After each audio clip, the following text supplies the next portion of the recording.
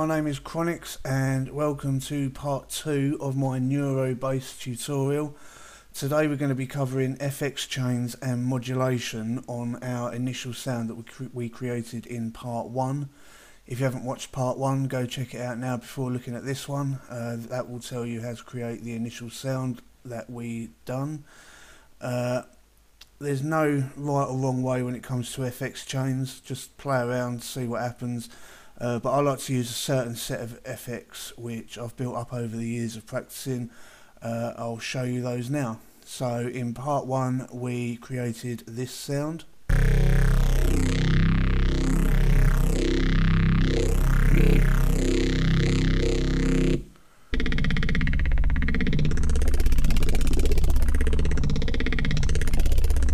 It's quite a nice sound that we've got going there. Uh, so we've got our instrument rack with two instances of FM8 and one native instruments massive. We've got various parameters linked to the Macro 1 controller which gives it its modulation. Uh, from here we're going to build upon the sound and I'm going to start off by adding Ableton's own saturator onto the end of that. And I'm just going to turn that onto the, the sinoid fold and turn the drive up to just under 2 decibels. Uh, maybe the output down just a touch. Everything else I'm going to leave as it is. Uh, also I'm going to add a chorus onto that and I'm going to turn the dry wet up to 100% gives it a bit more width so now we've got this kind of sound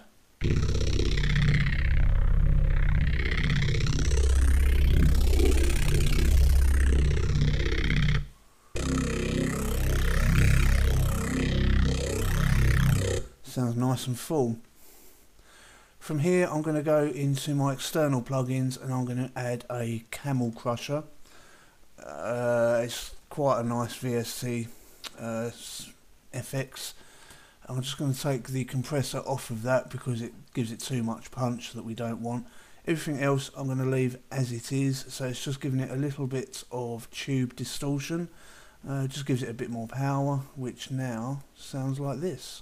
Thank you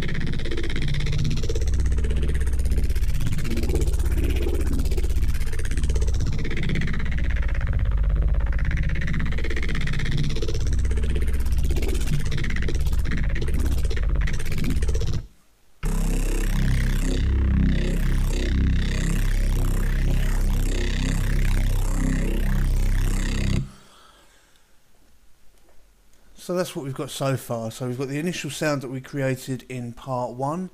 And in this second part, we're working on the FX chains and modulation. So we've added a saturator, a chorus, and a camel crusher. And that's pretty much all I'm going to add to that. Uh, when it comes to modulations, we we covered quite a lot of modulation in part one uh, with the various parameters here all linked to the Macro 1 controller. Now, some people like to move all of these into the instrument rack and link various parameters onto the Macro 1, but I'm, I'm going to do it a slightly different way. I'm going to uh, control, sorry, shift and highlight these three and then I'm going to group those into a separate instrument rack. So we've got two instrument racks, one with the synthesizers and the second one with the effects chains and from here we can modulate these separately as well.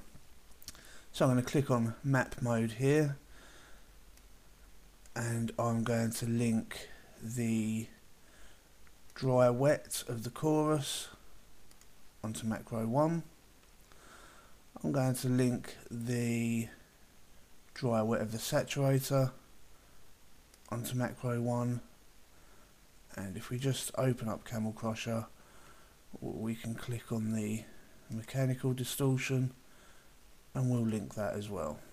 And just turn these down now. Turn map mode off. Uh, sorry we need that on still. So like I covered in the first part up here you've got the macro mappings uh, from here you can set the minimum and maximum values for each parameter. So the saturator dry wet we don't want going up to 100%. We'll put that to about 50. Start it on about 5. Same with the chorus. I'm going to invert the chorus.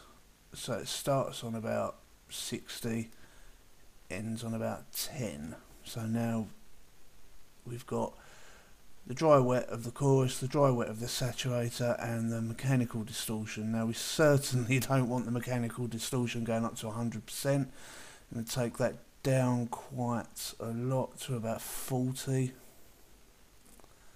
and I'm going to let that one start on zero. So now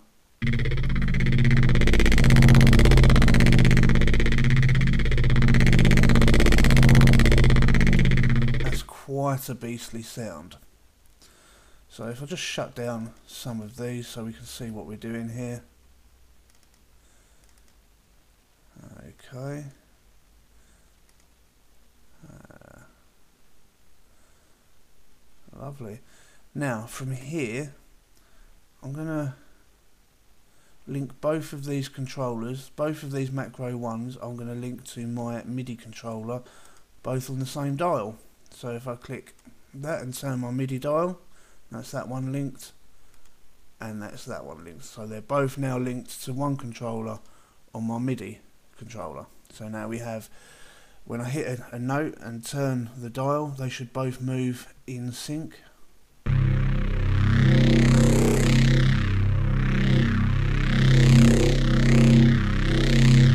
Like so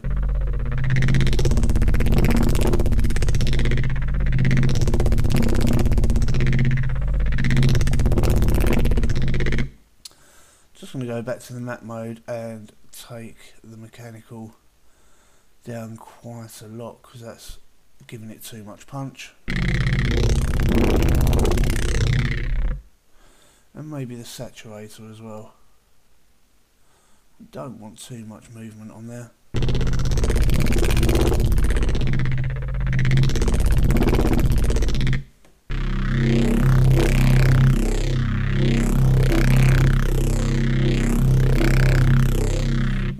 better sound.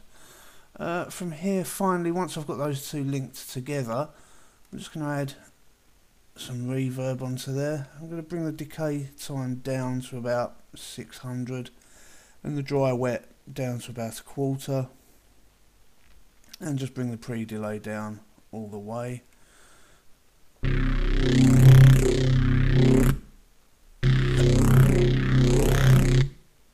maybe bring that decay up a little bit.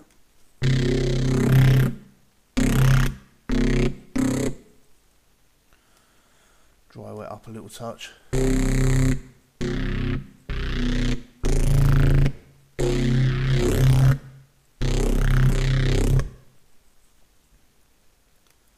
a little bit more.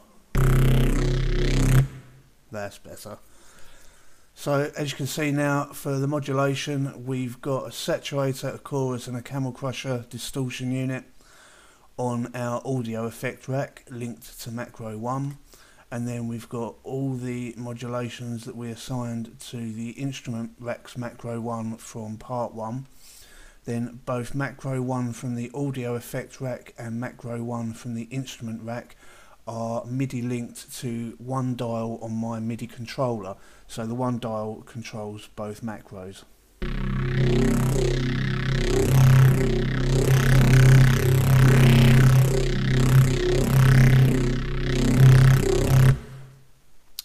As far as FX chains and modulation, that is pretty much it.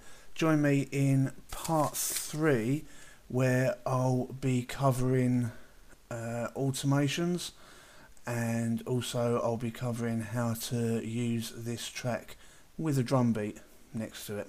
Okay, thank you very much. It's been a pleasure as always and I'll see you again in part 3.